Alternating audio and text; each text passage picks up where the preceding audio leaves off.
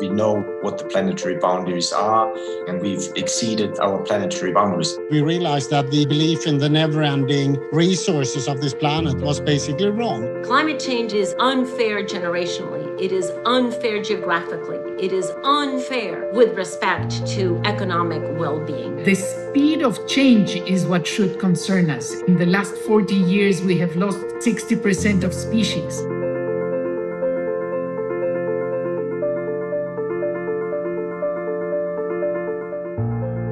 There is shared responsibility here to create a regenerative future. Being solidarian with all countries, with your neighbor, between the urban and the rural people, between men and women, the elderly and the young. When we achieve that, things will change very quickly.